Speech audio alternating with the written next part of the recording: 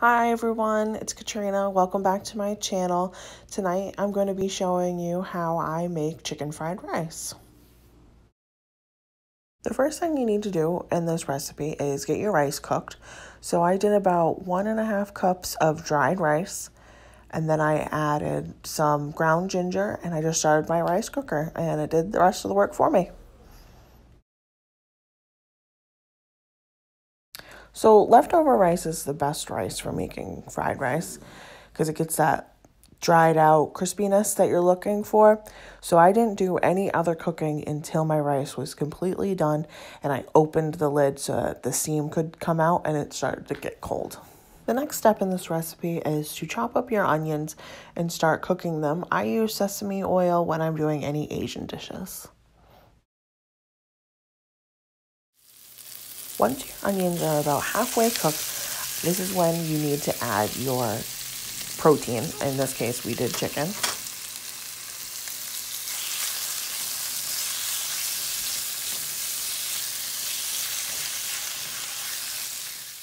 This is the point where I would start seasoning your dish. So I'm adding about a teaspoon, teaspoon and a half of garlic, I had already added pepper to the onions. Now I'm going to add more dried ginger. If you prefer to have a saltier fried rice, this would be when you would add your um, like table salt.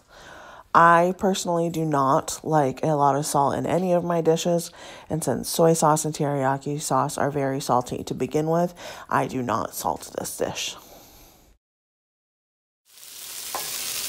It's now time to add our rice. Rice, when it starts getting cold, stays in one big shape as you can see. So I just take my spoon and I chop it up so that when I add my other seasonings in my sauce, it can coat all the individual grains of rice.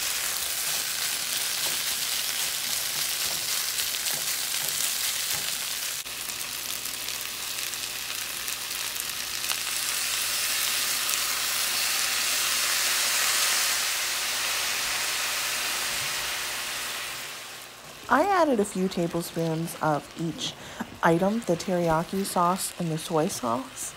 It's all going to depend on how much fried rice you're going to be making for how much of those sauces that you're going to need.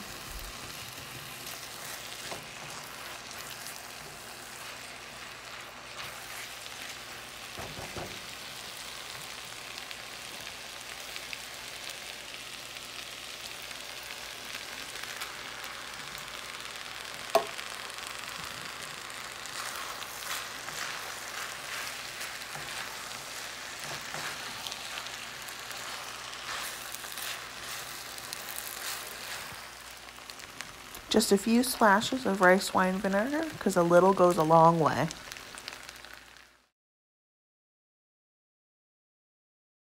In a bowl, I scrambled up two eggs for this recipe.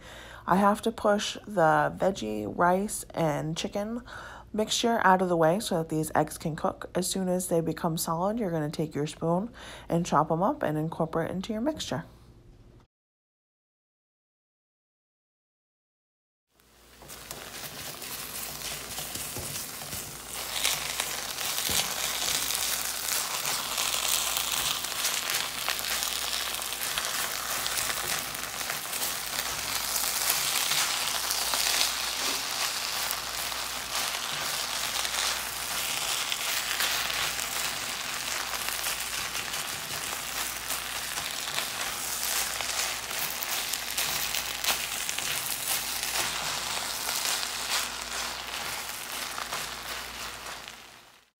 At this point, your dish is all set, so it's time to plate.